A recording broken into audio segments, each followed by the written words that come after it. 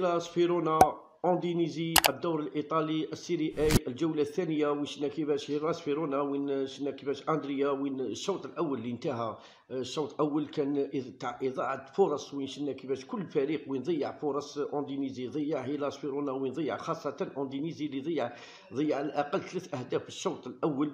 شفنا هيلاس فيرونا في الشوط الثاني اندريا وين سجل هدف في الدقيقة 58 في بداية الشوط الثاني وين سجل هدف الهدف الأول. شفنا كيفاش كانت المباراة؟ مباراة كانت نقولوا باللي المدرب تاع هيلاس فيرونا أيضا اللي دخل بهذه الخطة خطة خطة اللي كانت نقولوا باللي خطة تقليدية خطة تقليدية شفنا كيفاش كل مد كل مدرب ولعب من أجل الفوز لعب من أجل الحفاظ على الحفاظ على كيما نقولوا حنا على التشكيلة تاعه شفنا كيفاش نقولوا بلي هيلاس فيرونا وين لعب بخطة 4 1 4 1 شفنا لوكا غوتي المدرب تاع تاع أودينيزي اللي لعب بخطة مفتوحة لعب مفتوح لعب بربعة ثلاثة ثلاثة. يعني شفنا كيفاش ماركو في الحراسة تاع هيلاس فيرونا اللي أنقذ المرمى المرمى تاعو في الشوط في الشوط الأول.